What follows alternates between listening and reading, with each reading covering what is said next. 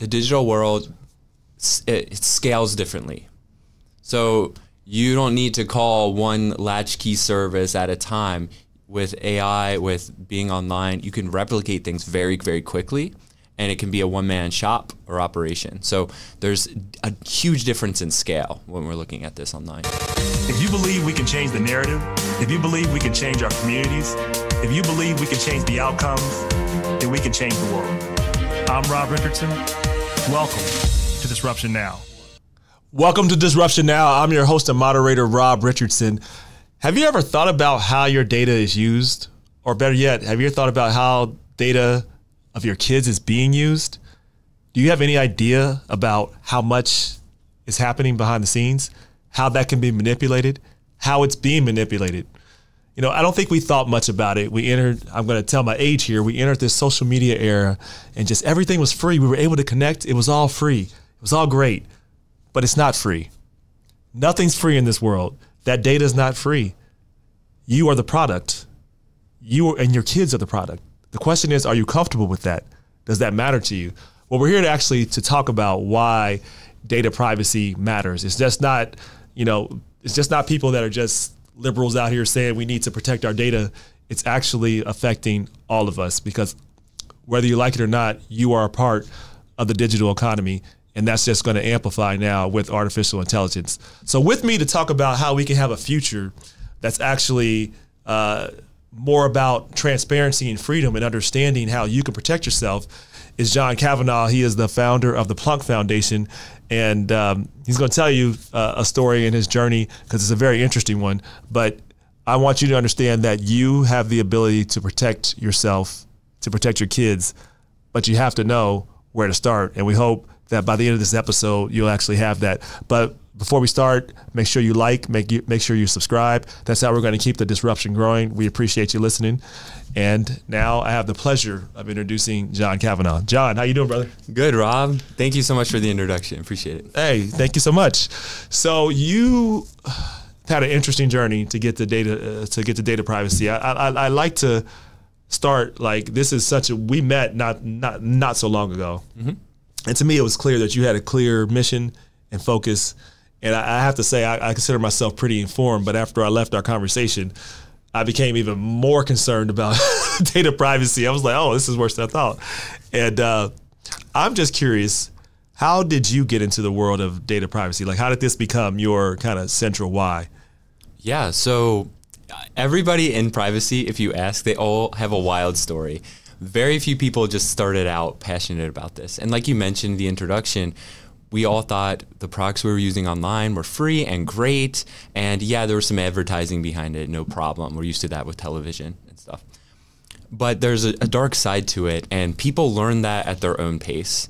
Yeah. So a few people on my board. One was um, a lawyer, uh, and he was just doing contract law, and he saw a drone go over his house, and he was with his kids and family, and it right. started that question, like, you know, whose drone is that? Right. And why are they, do they have now video of me and my family? Right.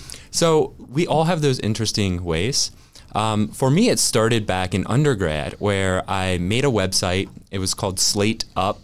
And it was just a place as a pre med student where I wanted to meet other students that were taking the MCAT already in med school because it's a huge decision. It's sure. like a half a million dollars in debt to figure out if you like being a doctor or not. Yeah. So it was a lot of cost to figure that out. So I built a website to connect people, similar to like the old school version of Facebook. Yeah. And that was their mission, connect the world. Yeah. So I wanted to meet and connect with people, especially professionally and within school. And it grew very fast. Um, within the first three months, we had one fourth of UC uh, on wow. it. Yeah, and it grew in the Midwest, Ohio State, um, Middle Tennessee, uh, Clayton State University, lots of schools in Ohio, Kentucky, Tennessee, Indiana. And as we were growing, um, we got uh, research grants to keep it running, but eventually we needed a Series A funding. Sure. And we weren't we weren't keeping any data of our users. We were like, oh, let's just um, make sure that we're taking care of them and that everything's protected. But we just want to make sure that the people that are using our products um, feel good about you know the environment that they're in. Right. our privacy policy is, hey, we're not selling anything, we're not pushing any ads, And we developed um, a way to make money by selling to universities. So we figured that would be our pipeline and our revenue to make money, um, which everybody agreed upon. But when we were looking at that Series A funding, every single investor 50 plus that we talked to, every single one was saying, hey, what are you doing to sell the data? Because that's another revenue stream. Right. And you can't ignore it to be competitive in this day and age with tech. And I started learning about what that really meant. So when looking through the details of what data mining was, how it's used, who it's sold to, you enter this huge dark side of the internet Right. that people are vaguely familiar with. But when you really dive deep down about it, you understand how they're using various parameters about your life to nudge you to a decision. It can be a political decision. Right. It can be buying products at a certain time. It can be understanding your mental health state. Are you depressed? Are you sad? Well, you tend to buy more in this Right. direction. Um, and we were primarily focused on college students who have, by default, pretty bad literacy, uh, financial literacy skills. Yes. So that was one thing was like, hey, a lot of these students are getting a lump sum that is debt essentially and spending it on beer and pizza Right, on right. the weekends. But if we have an opportunity to slip our products in there as well, uh, where they're paying 12% interest on whatever t-shirt company Right. they are, um, then that's good for business. But in the long run, it's not sustainable for our society. And I found a lot of objections. So, uh, me and the core group, we decided to close down the organization and build a nonprofit. So, you you mentioned me as the founder, but there are. And I want to say that. Just back, back, back, back Yeah. Mm-hmm. up for a minute. Okay. People just have to. I want to make sure they absorb what you just said. a Series A funding is a big funding round. Yes. Right there is seeds, pre-seed. Series A, you're talking minimum five million probably dollars. I don't know what it was then, but I'm guessing it's around that. Yeah. Like so. Be very clear. Like millions of dollars was offered. Yes. And because you weren't comfortable with the direction of where the investors wanted you to go with the data, you turned it down. Yeah. that, that's and you started a nonprofit. Just make sure people understand that. So, like, it's one thing to say that you have these principles; it's another thing to actually have done it, which I have massive respect for. Right? Thank you. It could have been easy, by the way, but uh, like it's. Um, so I want to talk about. I want you to go down the nonprofit, but I, I like to just deep dive into like what really kind of uh, sparked you to say no to that because it sounds like you weren't against the idea of ads in general. It sounds like there was something there was there are other things that that deeply disturbed you to make you go from it's one extreme to say no, I don't want to do this to starting a nonprofit. Like like what were like the, the top things that really just like stuck out? There has to be some things that like that the investors or people wanted you to do that you just didn't sit right with you. Like what what were those things? Yeah, so our primary focus was understanding how students could feel at home at a university. Yes. And we were helping with uh, reducing melt rate, where people said, "Hey, I want to go to University of Cincinnati, for example," but then they wouldn't at the end of the like beginning of the school year, they wouldn't come because they went to Ohio State or something, as an Right. example. Um, a lot of that is because they just didn't feel a sense of community. So we were helping facilitate that sense where the resident advisors, the people that live on the dorms, um, and the orientation leaders would connect in a better facilitated way. Right. Um, so people felt more at home. Um, and then, you know, to be honest, I was against ads because the business No, no model. problem. Yeah, the business model that we had Right. didn't need it. Right. So everything else was like, hey, these are slightly, it was a, a steep, like a curve of more and more invasive maneuvers, Right. which was against the philosophy. It's like, hey, we have a good revenue stream. Um, universities are willing to pay for this. We had letters of intent and to buy and everything. So we were good to go. And um, They wanted you to be. I, I, I feel where you're going is that. Uh, yes, you didn't like the ads, but I also think it was the level of what you would have had to compromise. It feels like for becoming for for selling that would have meant that you would have gone away from your mission. It feels like. Exactly. And here's another thing is I'm convinced in the tech world if you are a for-profit tech company, unless you're a billionaire and you can fund everything itself, at one point you're going to be cash strapped. So if it's not the series A that we compromise on, it's going to be a series B, 100, Right. 100 million or something like that.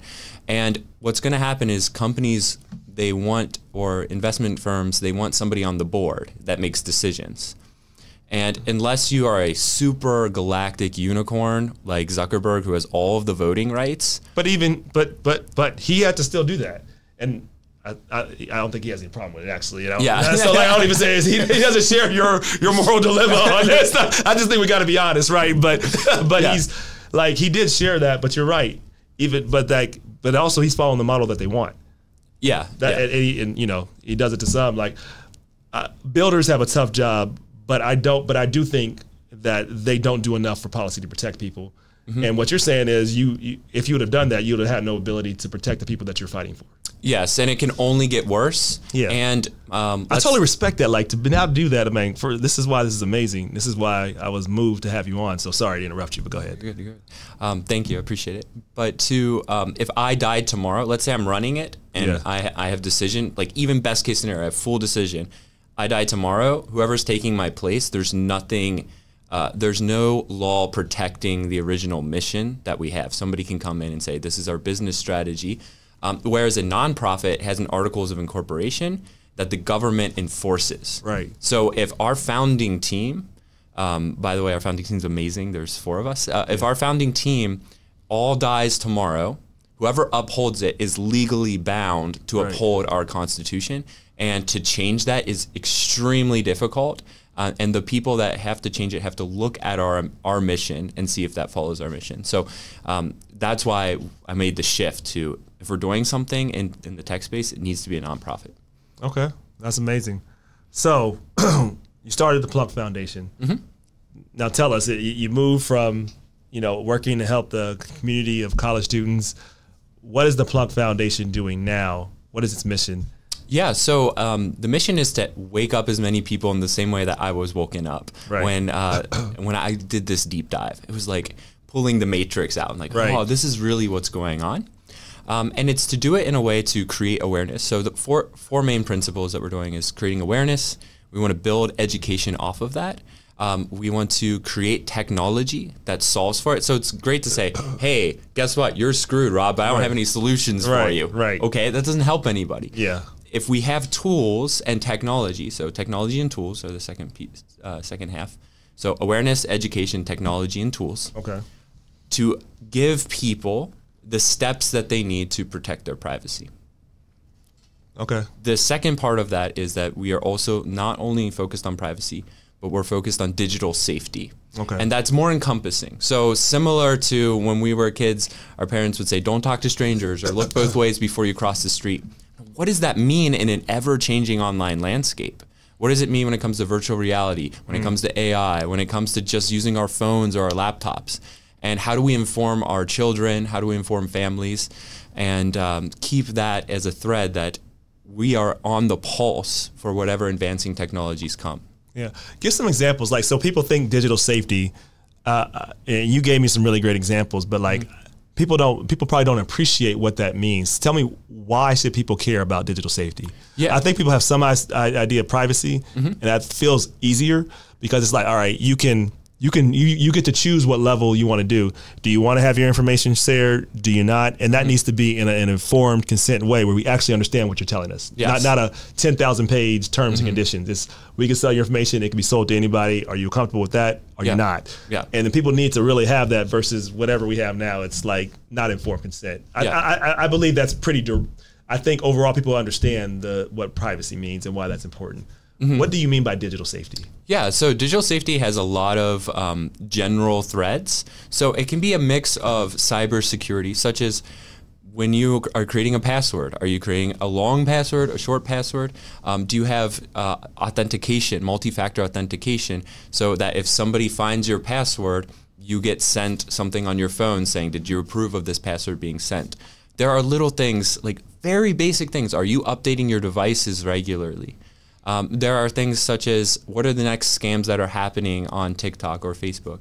Um, we now know with AI, there have been phone calls that are replicating somebody's voice. Yep. Because all you need is a six second sample. So, those types of things that I need to understand um, that if I'm a mom and my kid calls me from a phone and it sounds like them, but it's not registered, I don't know it's their actual phone number, and they're saying, hey, mom, I need money Right. For you to have some street smarts. Yeah. Some digital street smarts. Yeah. That's a good way to think about it. Yeah, exactly. That's a good. That's a really good. That's a really good example. Like I remember growing up, uh, my parents and I had a um, had, had a password between the family that only three or four people knew.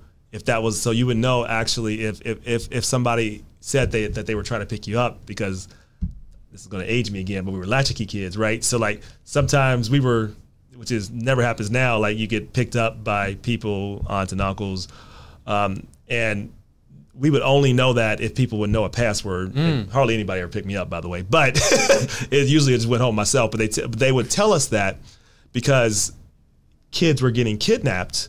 Right when people were uh, saying, "Oh, your your father, I'm a friend with your father," Right. and he told me to take you home, Yeah. and like so, kids sometimes wouldn't know the difference. You know the father's name. They say, "You know this. Uh, I know this about your family." So you assume because kids are more trusting because Mm-hmm. Right. been through the level of uh, exposure and experience that adults have. So we had we had like passwords that we all have to know, and it's funny. Like I feel like that needs to come back now. Like people people didn't people don't think about that as much now, but it's it's because people don't get strangers don't pick up their kids. Most of the time we have helicopter people now, moms and dads. Like Yeah. everything is like encapsulated, but it's not really with di- with the digital world, is it? It's not, and the digital world it, it scales differently. So you don't need to call one latchkey service at a time. With AI, with being online, you can replicate things very, very quickly, and it can be a one-man shop or operation. So there's a huge difference in scale when we're looking at this online. Yeah. I also remember an example that we that we talked when we first met Yeah. about how digital safety affects the most vulnerable of populations. Like I love for you to, to, to talk through that example. We talked about like um, women that are, for example, like women that are recovering from uh, uh, violent acts and domestic abuse. Yeah. Like that go to organizations like Women Helping Women. You know, you really talked about how digital safety can affect uh, people like that that I never thought about. Talk about like why even even the most uh, vulnerable populations could actually be uh, more at risk as well. Yeah, so what we're seeing a lot now in the landscape through our research is that there's various areas. There's human trafficking, there's intimate partner violence and domestic abuse um, that we're seeing a lot of these things happening, and then there's school bullying and sextortion. So um, let's go to your, to the first example. Is that um, in women's shelters, uh, there's research that's been done in Europe that found that 79% of women who went to a shelter for domestic abuse were tracked in some way or form online. Wow. There is, but the National Network to End Domestic Violence, which is here in um, in the U.S., Yeah. they found that it was hundred percent of people. Damn. And now they surveyed uh, probably like a couple thousand less, um, Right. but either way, the the survey was over three thousand people. So it is a significant amount of people who are saying that online. Um, I'm being tracked, and this could be if my Snapchat location is on. For those that use Snapchat, it could be my car uh, is uh, being tracked. It could be my phone. It could be more um, like the Apple AirTags, which are very common to slip into a car. I just talked to a young woman who had that happen to her. She has no idea who it was from. So there are various ways of tracking and stalking that's that's done. So how, how does Snapchat track track? track you can turn your location on. They have an um, they have a piece that's called Snapchat Maps. Right. And you can turn your location on. You can see where people are at, at all times. Yeah. And it's pretty common for for a youth to have that on. Um, some are very selective about which friends have it, but some partners may demand that you have these types of things on, and if you don't, you will get in trouble. As an example. And what type of tools do they have in place? Like you should like they should like Snapchat should probably do a lot more to warn to warn kids or maybe turn that on and off to say do you 'cause I know like uh, Apple at least started doing that like do you want this to stay on do you want this to stay on but I think with kids there probably needs to be another level of uh, protection and safety. Absolutely, and kids are using it all the time to figure out like who's at what party or where they're Yep. going with things too. That's that's tough. Like, um, so how do you balance this when you think about like how do we balance the obviously the innovation and, and, and, and having the right balance between what what I guess policy or regulation needs to look like. Uh, obviously, you and I are both believers in policy and regulation. Some will hear that and say like, you create regulation, it's going to kill innovation. Yeah. Right. That's the line. What's your response to that? Yeah, that's a that's a good question. Um, I the way that I think about it is that most organizations that are that are doing this um, have good intentions. Um, they're trying to make good products, and I don't blame them at all. The, the areas that I'm really looking toward um, is when it comes to bad actors. So when it comes to corporate policy and privacy, there is this culture of surveillance capitalism. Yes. The, the, Pl- the Plunk Foundation doesn't focus on that, although it, we're aware that happens. We're more focused on how we can help with bad actors, but uh, help fight against bad actors. Sorry. Um, and but when we look at the the corporate area, the way that I see it, and this is a, the more personal take, but the way that I see it is that they have been using a technology before regulation. So everything before regulation is sort of a gravy train Yep. for them. But there are, but then the consequences that they have will not allow for what they're doing to be sustainable in the long run. Right. If they're if they're taking everything and bastardizing it and sucking it in as and turning it out as AI, you're going to have a lot of problems of quality data that exists. Yep. You're going to have a lot of problems of um, taking and and um, just having massive amounts of siloed data that when cyber attacks happen, now you have data you shouldn't have collected to begin with or you should have purged, and now it's affecting a- as a national security risk. So um, the Biden administration actually released um, about around October a a bill for cybersecurity where they're funding um, for people to get jobs in cybersecurity, and this does tie into privacy and digital safety, but they want to because all of the top businesses are not equipped for example what China has when when it comes to their um, ability uh, to hack, as an example, when it comes to missile launching, when it comes to let's say if P&G shuts down, you know, because of cyber cyber um, attacks or something along those lines, or a coordinated effort that shuts down multitudes of hospitals. So we're looking at this from a national security and defense uh, type of thing, and businesses in the United States have a lot of freedom compared to a lot of other countries to navigate, but we need some type of unity of how are we protecting our citizens, which in turns protects the country. So it is a national security risk um, No, by the Biden administration. That, that's very, very interesting. It's a national security risk. And so you kind of answered one of my questions, like how do you see navigating this if you were, um, I guess, president and ruler for a day where you had the control of Congress and your president and Senate? What laws would you pass to, to, to, to help us with both privacy and digital safety? Yeah, so I think mimicking the GDPR is probably the best place to start. In America, Tell people what the GDPR is. Yes, so that's the um, the European Union's uh, privacy law, and it's um, basically it's global. So it's like imagine it'd be a federal law here, and um, it controls. Um, what amount of data a company can collect, the limits, and um, it's very complicated and, Right. and very thorough. Um, but the main thing is that your privacy is a fundamental right.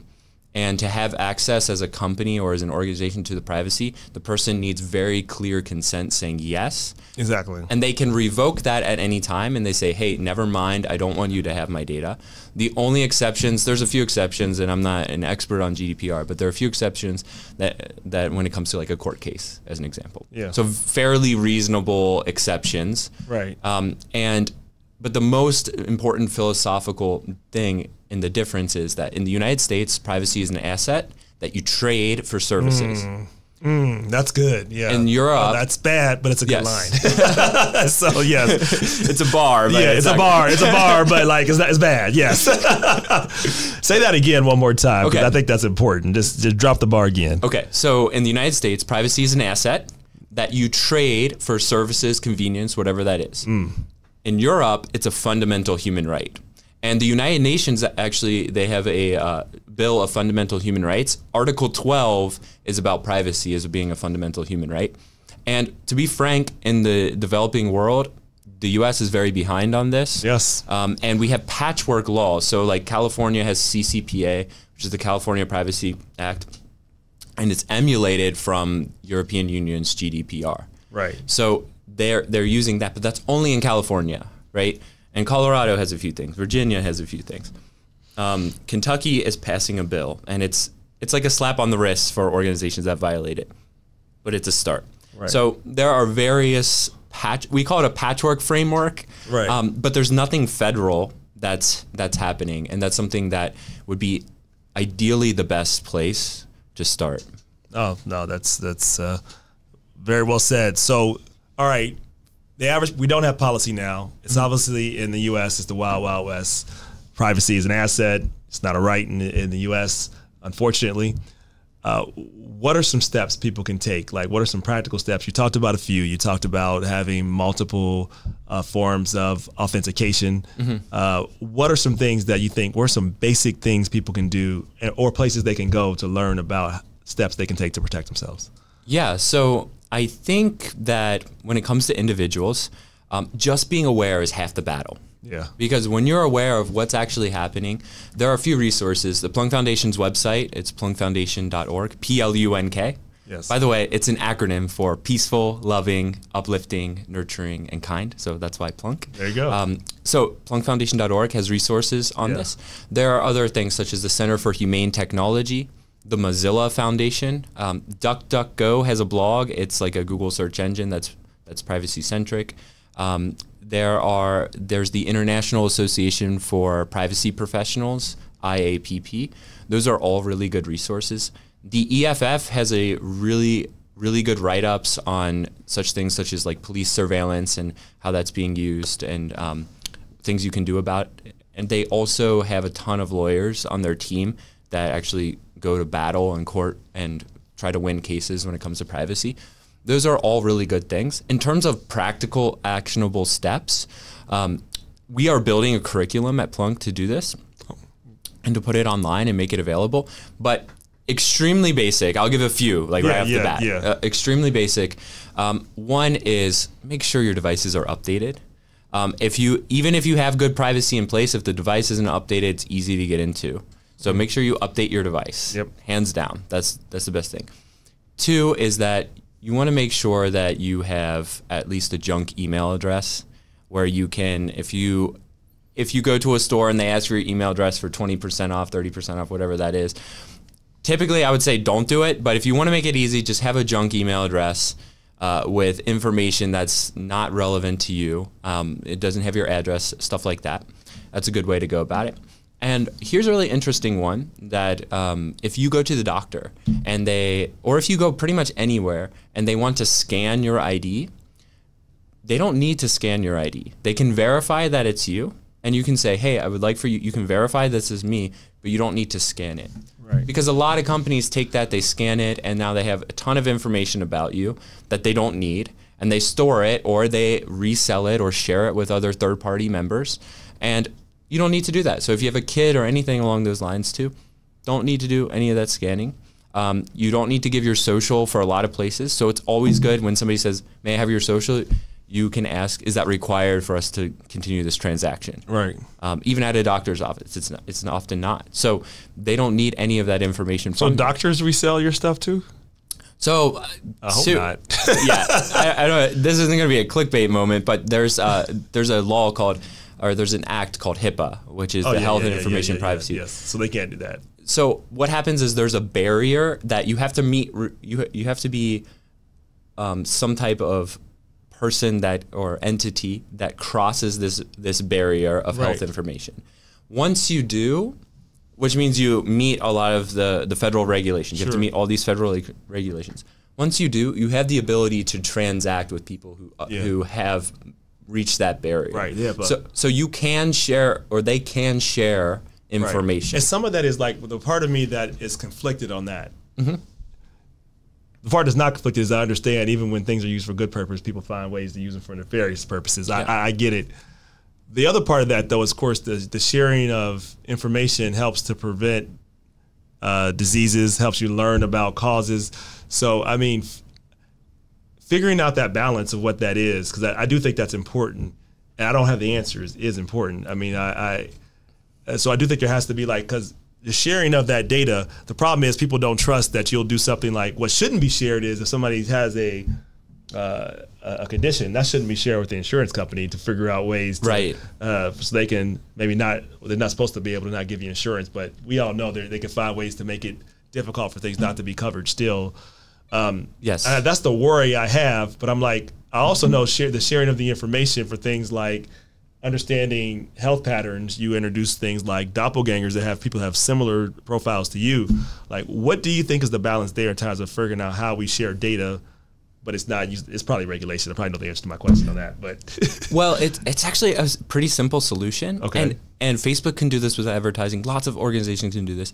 It's just that don't attach personally identifiable information. There you go. Yeah. To it, anonymize the data, right? Like, hey, we have, you know, maybe there's 7,000 cases in Cincinnati of this thing.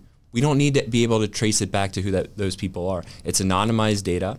And um, I know for the nerds out there, they're going to say, well, AI has the ability to de anonymize data right. through that. There are techniques that brilliant people, even in the university, zero proof knowledge, yes. Yes, and the, well, they add noise so yep. you can't identify exactly who has what condition. And yeah. so there are brilliant people coming up with these solutions. And to go to your question about um, how do we have uh, innovation, you know, and privacy, there's so much innovation happening yeah. in this realm that protects us too. And there's so much innovation that's going on. I, I think to answer my own question out loud, I think we do have policy and we started incentivizing investment the same way we started doing uh, sustainability. Right. Right. so now you're seeing all of this happening. All this happened all across Ohio, but really all across the country. Uh, that there, there's just solar power farms being built everywhere. Of mm-hmm. course, there are people that are trying to be against it because they want to keep the money train the same way it's always been. I'm yeah. sure there will be people that want to keep data the way it's the way it's always been because that's how they've always made their money. Yeah. But to the point is, there's lots of op- there's lots of jobs being created that way. Mm-hmm. Lots of opportunities being created that way. Yeah. And we start having a renaissance towards okay, we can protect people's privacy and still innovate, and we want to incentivize that type of activity. That to me is one of the main purposes of policy. Yeah. Policy is actually it is a guiding principle to say this is the type of society we want to be, and we never get it perfect, and we can't overdo it. But I like the concept of how do we incentivize people to innovate and protect privacy. We have the you, you talked about what you do in terms of uh, the the solution to scrub out the noise using AI. I mean, there's also blockchains involved in this zero proof knowledge. You're able to uh, hold data, like collect data mm-hmm. that's that's that's totally private, but then you can still know about the data without knowing the data. Like I know it sounds weird, but it's the same type of thing you're talking about. Like it's a way of proving things without knowing the details of a person, which I think that we have the technology to do this. It's just what problem are we trying to solve in society? And right now, we've just said nothing's more important than just how fast we can just uh, make profits without any type of uh, thought about should we do all of these things and how should we do them. Yeah, totally. And one thing, you know that this is an issue that is sort of bipartisan. Yep. Because you will talk to um, a ton of different people from both sides of the aisle, and you know it's something that needs regulation when people on the right are saying, hey, I don't even believe in regulation, but this. I, know what I'm in too deep. I know that there's something yeah. that they know their kids are vulnerable. Yes, and another thing too is that a lot of things that we're seeing is that you could be an affluent family but this could still happen to your kid. All Absolutely. It, all it takes is just one moment where, hey, mom, hey, dad, I hate you. You don't understand me. And then they put this online. Our, I used to talk crap about my parents under a treehouse. Right, but, right. but the digital treehouse exists. Yeah. Where you're spewing that. And it just takes somebody who can identify through sentiment analysis, through using AI, um, and pinpointing exact locations of who may be having fits with their parents at this moment um, to understand okay, these are vulnerable children. Yeah. And it just takes one connection. You can buy their data for five bucks to understand what their interests are. You can say, okay, it just takes this one connection with this child who's having a bad moment with their parents online, and that's all it takes to start something like that. So people are understanding like both sides of the aisle, all sides of the income economic ladder are people that are affected from this. What happens if we don't get this right?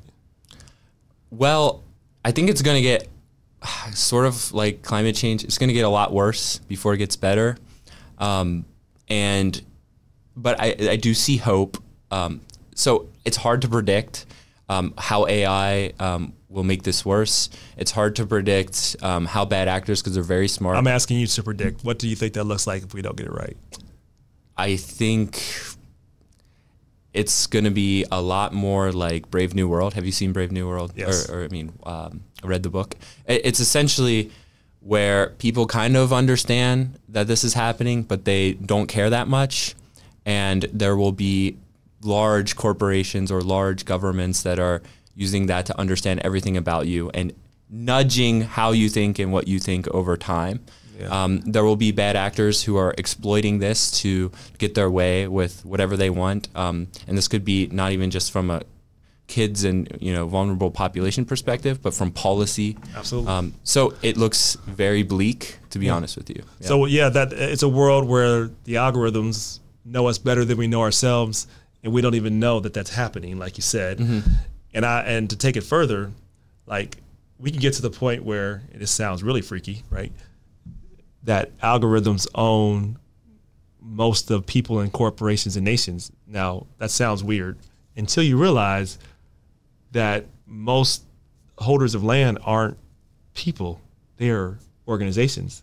So imagine if we if we're okay with algorithms because this is very possible that algorithms can eventually determine uh, who owns land, how policy is written, all those things that we don't even know. Like I know it sounds like science fiction, but it's not science fiction when you understand that if there's not a we don't have a guiding map for what we want in society, how we're using artificial intelligence to augment us, right? It's yeah. augmented intelligence, not mm-hmm. artificial intelligence. Mm-hmm. And AI, everybody, is not new.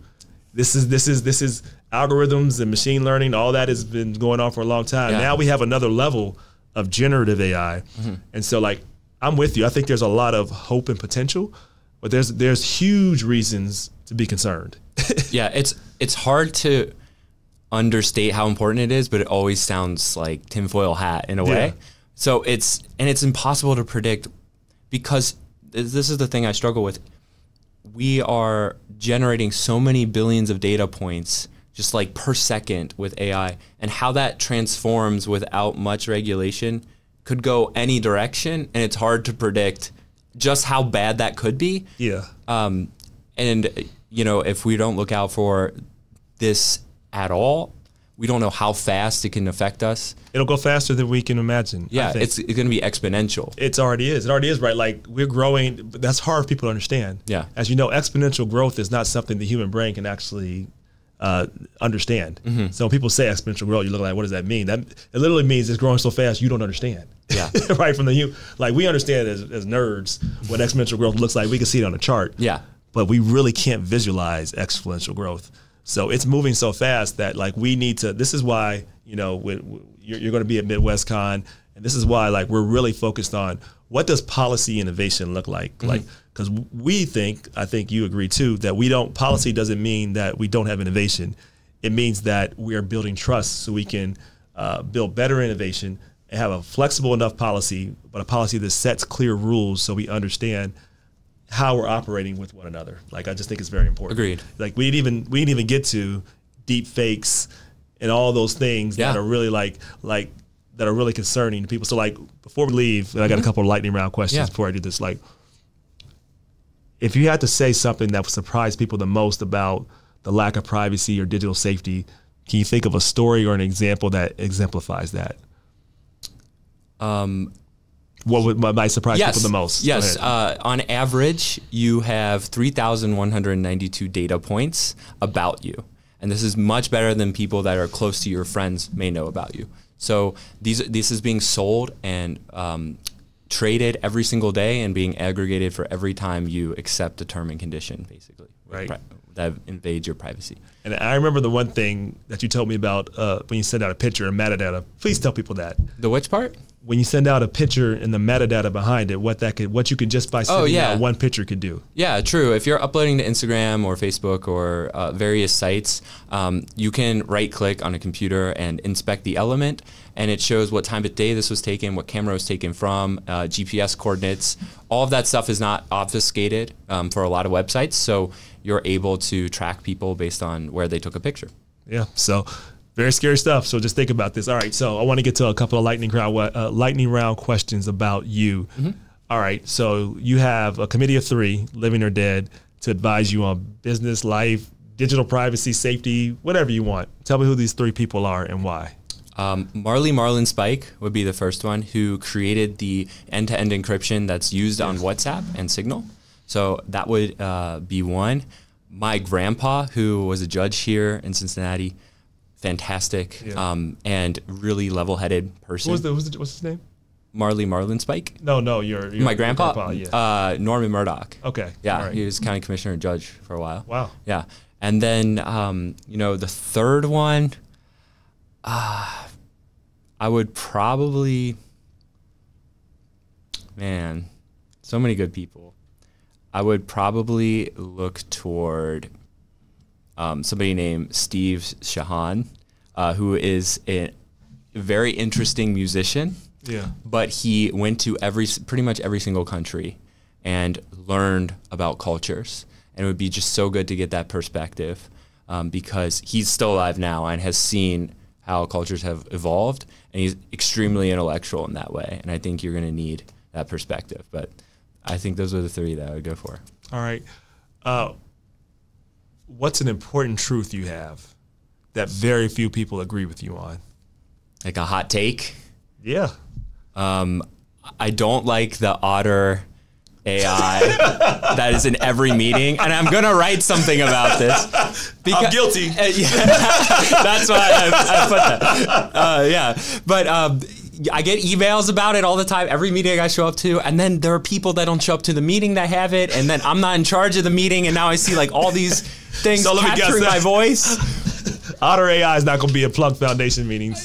no, no. I, I was uh, talking to John Salisbury about um, Yeah. even just like when we have a meeting or a presentation, um, making people turn off their phones. Like if it's in person, Yeah. like demanding people turn off their phones and just like creating attention. I also think Otter, on one hand, excuses people from really paying attention because they think they can go back to something.